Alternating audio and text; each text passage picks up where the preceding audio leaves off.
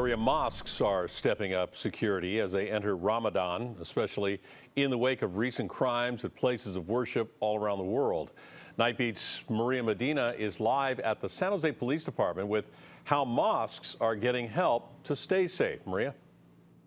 Well, San Jose police confirmed they'll be, they'll be doing patrol checks this weekend uh, uh, at mosques. And mosque leaders say they want to take it into their own hands and prepare for the worst.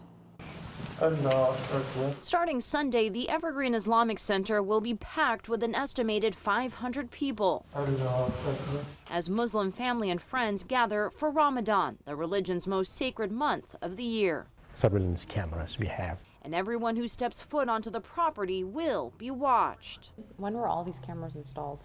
They were installed recently. So someone is watching. Somebody watching that all the time. All the time. People are expressing fear about going to the mosque, and mosque leaders are having to double down on security plans. Just last Tuesday, Sunnyvale police say this man intentionally ran over a group of people he believed were Muslims. And after a gunman opened fire at two New Zealand mosques, killing dozens, San Jose police held an active shooter seminar at the Evergreen Islamic Center. Mosques in this region and across the country have had really serious conversations and spent resources hiring private security, working with off duty police officers, working with police departments to increase patrols, installing cameras. Akbar Syed says they now lock their gates after each prayer and told KPIX there are other security measures in place they've taken that he'd rather not share to keep his congregants safe. This place is the safest place to be here. But make no mistake, he says, everyone is welcome at the mosque for Ramadan.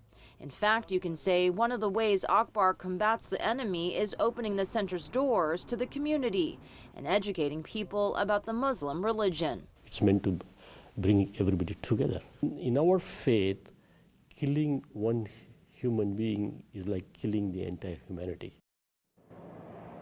And it's going to be a busy weekend. San Jose police are also stepping up patrols for Cinco de Mayo. Officers will be working 12 hour shifts on Saturday and Sunday. Live in the night beat, I'm Maria Medina.